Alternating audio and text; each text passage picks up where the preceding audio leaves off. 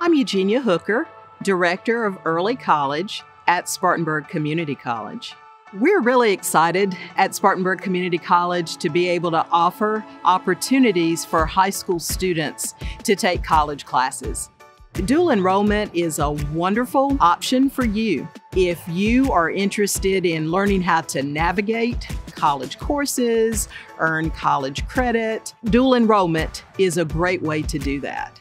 Through dual enrollment, high school students have the opportunity to earn college credit. We have any number of options. We have a very flexible program. We have had students, or some of our former dual enrollment students, to come back to us and say their dual enrollment experience did save them time and money in their future college careers because they had already done so much of their college work while they were still in high school.